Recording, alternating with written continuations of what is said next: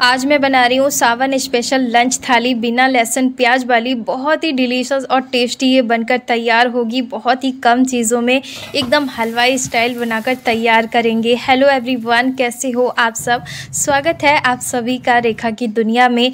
दोस्तों, कल मैंने एक वीडियो पोस्ट किया था जिसमें आप सबने काफ़ी सारे मेरी मतलब हेल्प से रिलेटेड मुझे कमेंट किए थे कि दीदी आप अपने चैनल का नाम चेंज कर लो, ये कर लो, वो कर लो।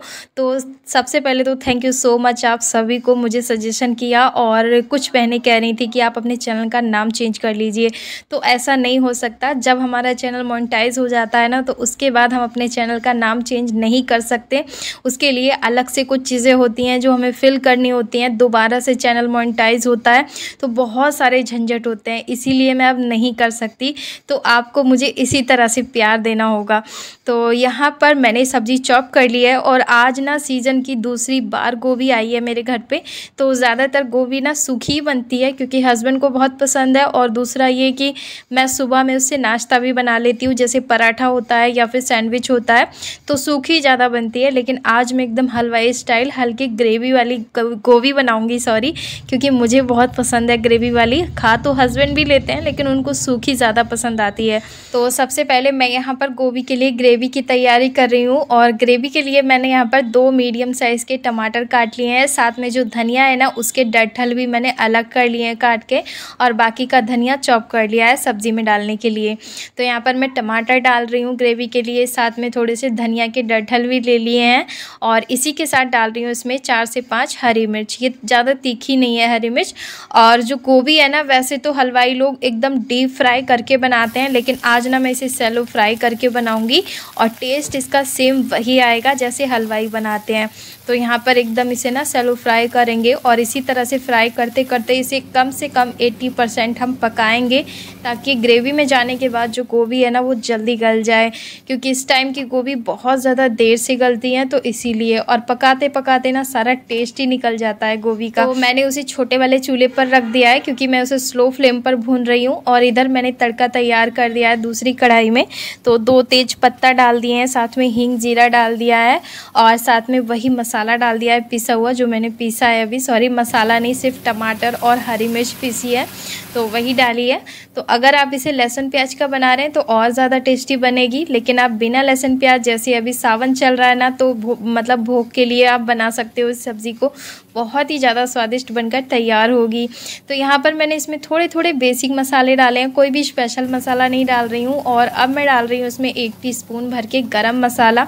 इसे मैंने घर पर ही बनाकर तैयार किया है और यहाँ पर जो गोभी है ना, वो आप देख सकते हैं एकदम कलर चेंज कर गई है और हल्की सी ये पक भी गई है।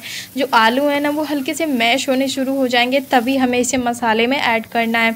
आप चाहो तो यहाँ पर इसे सूखी भी पका सकते हो, लेकिन आज मैं इसे ग्रेवी वाला बनाऊँगी और आप यकीन मानिएगा, बहुत ही ज़्यादा डिलीशियस गोभी की सब्ज़ी हमारी बनकर तैयार होगी इस तरह से, एकदम बिना लहसुन प्याज के भी। तो लगभग मैंने इसमें एक गिलास के बराबर पानी ऐड कर दिया है और अच्छे से ना इसे धीमी आँच पे पकने देंगे, क्योंकि पानी बहुत जल्दी गल जाएगा। और नॉनस्टिक बर्तन में हम जब भी खाना बनाते हैं तो फ्लेम को हमेशा स्लो रखना चाहिए। हाई फ्लेम पर बहुत ज़्यादा हार्मफुल रहता है।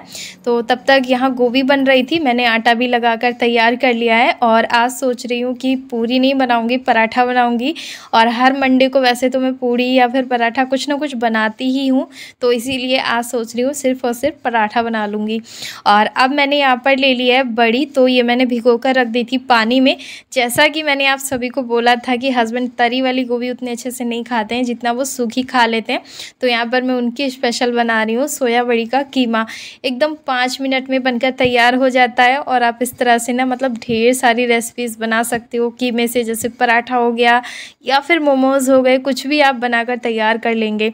तो यहाँ पर जो गोभी है ना, वो देखिए दस से पंद्रह मिनट में एकदम पक्का तैयार हो गई है और एकदम इसी तरह की हमें थिकनेस चाहिए। जो ग्रेवी है ना, एकदम इसी तरह की होनी चाहिए, चावल के साथ आराम से।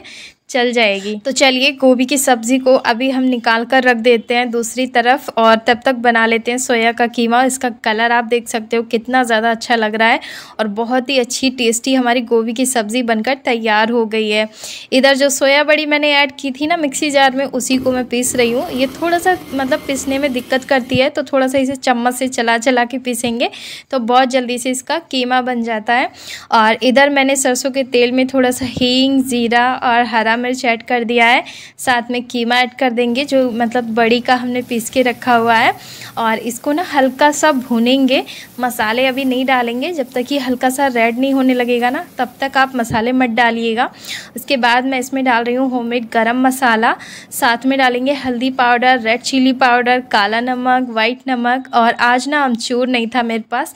अगर आपके पास आमचूर है तो आप इसमें ज़रूर डालिएगा। बहुत ही अच्छा स्वाद आता है उससे। तो बस साथ में नमक वगैरह डालकर थोड़ा सा धनिया डाल दिया है और इसे हमें ज़्यादा पकाने की ज़रूरत नहीं है, दो से तीन मिनट ही ये पकाने की ज़रूरत होती है। आप चाहो तो इसे भून कर भी मतलब इसी तरह से कंटिन्यू चला कर भी पका सकते हो। लेकिन इस तरह ढककर पकाएँगे ना तो ये नीचे से हल्की क्रिस्पी हो जाती है और बड़ी मज़ेदार लगती है। खाने में आप इस स्टफिंग से ना बहुत सारी रेसिपीज़ बना सकते हो, जैसे रोल हो गए या फिर मतलब कोई भी स्टफिंग वाली चीज़ हम बनाते हैं नाश्ते में, वो आप बना सकते हो। तो कीमा बन जाता है मेरे घर ना तो हस्बैंड बहुत ही ज़्यादा खुश हो जाते हैं और एकदम पेट भर के खाना खाते हैं। उन्हें बहुत पसंद है। पसंद तो मुझे भी है, लेकिन आज मेरी पसंद की गोभी बनी है तो आज मैं कीमे पे उतना ध्यान नहीं दे रही हूँ जितना मुझे गोभी पसंद आती है। इधर मैंने पराठे भी बनाकर तैयार कर लिए हैं तो सिर्फ़ दो ही पराठे बनाऊँगी, एक मैं खा लूँगी, एक मेरे हस्बैंड खा लेंगे।